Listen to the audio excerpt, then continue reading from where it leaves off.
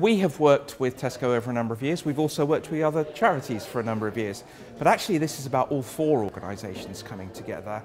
And they are four extremely well established, extremely well known organisations.